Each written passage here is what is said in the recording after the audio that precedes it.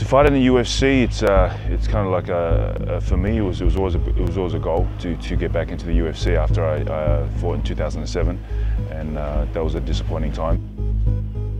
I pushed hard for the last three years to to get back into the UFC, and uh, you know I'm, I'm, back in the UFC now, so um, I need to keep stepping stepping things up, and uh, and that's why I'm at AKA in Thailand.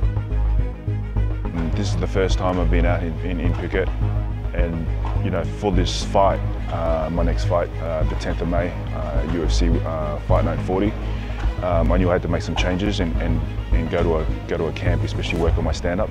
You know, I've heard a lot about, you know, obviously, you know, AKA, you've got Cain Velasquez and you know, Daniel Cormier, all the best guys come from AKA, and they had one in Thailand, and it's not far from where I am in, in Australia. So it was a perfect opportunity for me to, you know, I hit up Mike, and uh, Mike said, come down and, and check it out, and you know, I've been here and, and trained, and it's awesome.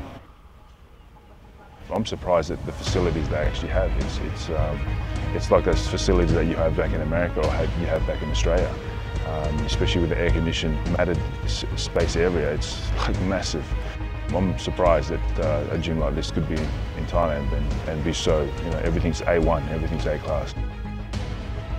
You know, you, the coaches here have been there, done that, and, and, and they're in the game. So um, like Mike in UFC, he's, he's fought, so he knows the experience and that he's got, um, not only from himself, but from, you know, from Javier and, you know, the, the coaches over in uh, uh, AK in, in, America and, um, you know, uh, Daniel Cormier and um, the guys that, you know, Cain Velasquez, you know, these guys are top level guys in America. He's just bringing it over here. So he's bringing his knowledge back here and guys that, uh, that come here and train, he's just going to pass on that knowledge to them. I think a lot of the um, the clientele here will be at AKA would be a lot of MMA people coming through.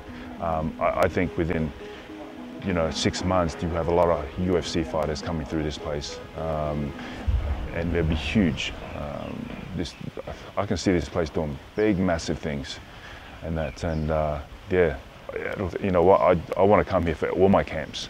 So every time I start a, start a camp and uh, it's, you know, when I lock in a fight, I want to come here.